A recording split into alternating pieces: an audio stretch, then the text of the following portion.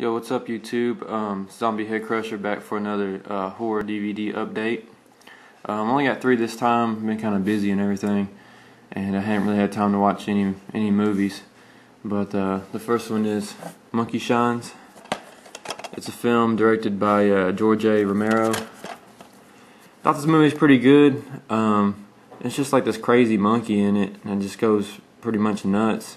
But the main story in, in it is about this guy that, um, you know, he's like a kind of like a marathon runner and everything. Kind of begins in the film with him, uh, with him running down the street. He's got like bricks in a backpack and weights on his feet, you know, to help him work out while he while he runs and everything. And he starts running, and this dog starts trying to attack him, and he kind of jumps out of the way, jumps on the road, and then something hits him, and uh, he becomes handicapped.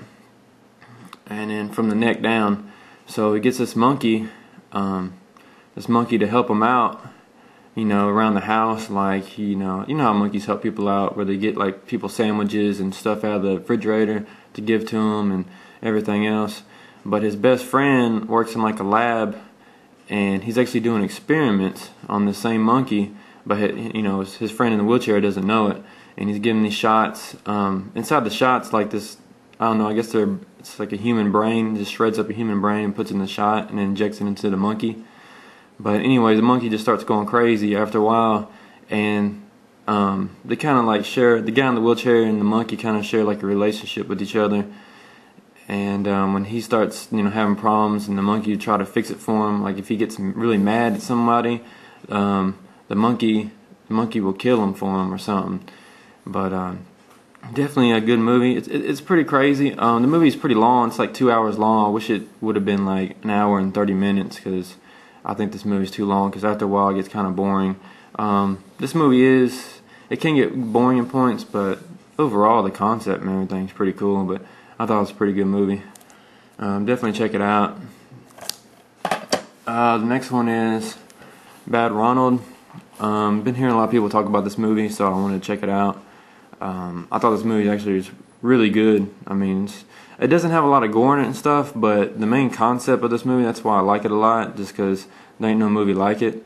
And uh, it's really about this guy, Ronald. Um, and people don't really like him too much, you know.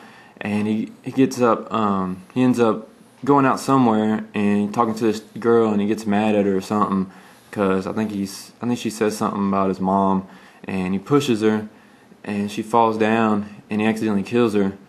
Well, she like falls down like a con- concrete cinder block or something, hits her head on it, and kills herself. I am not kill herself, but um, he kills her on accident.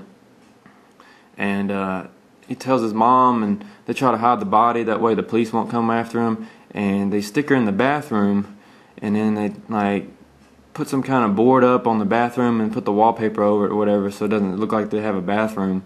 And they keep her body in there and uh, she the mom the mother hides him in like this cabinet space. I don't know, it's like this little crawl space, and he gets in there for like a long time, and uh, he stays in there for a long time, hiding from the cops and stuff. And his mother trying to cover up for him and everything, and then uh, something happens to his mom.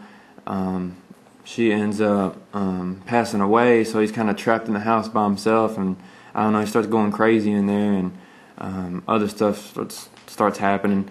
I don't really want to give too much away in this movie because it's a really good movie, and I mean you can say a lot of stuff on it and pretty much kind of spoil the whole movie. But uh, definitely check this out. It's definitely a good movie.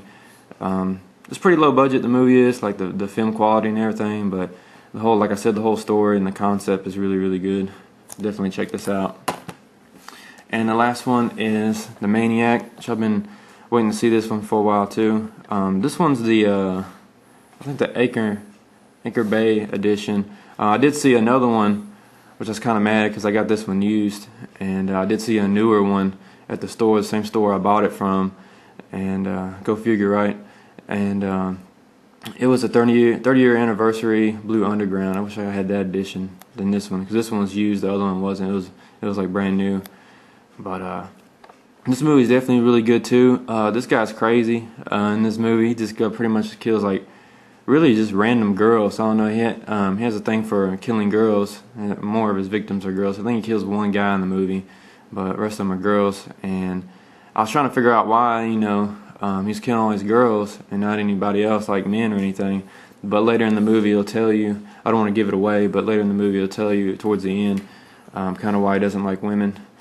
But um, this movie's crazy. Like has a uh, like say if he when he kills a woman, he'll like cut her hair off, like scalp her, and like put it on a mannequin that he has at his home. Like all these mannequins he has. So every time he kills a victim, he takes the woman's clothes and their hair and like like tacks it onto a mannequin's head, and then puts the their clothes that they had on, puts it on the mannequin.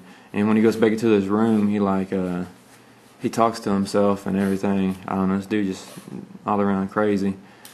But uh, definitely a good movie. Um, definitely has some good gore scenes in it. They had one scene where he jumps on the roof of this roof of this uh, couple's car, and he just blasts this dude in the head with a shotgun. See like a head explosion, and you see the brains and everything else flying in slow motion. It's pretty cool. I thought that movie was pretty cool. If you like gory um, kind of movies, this one's pretty good. Uh, definitely check this out. It's definitely a good movie.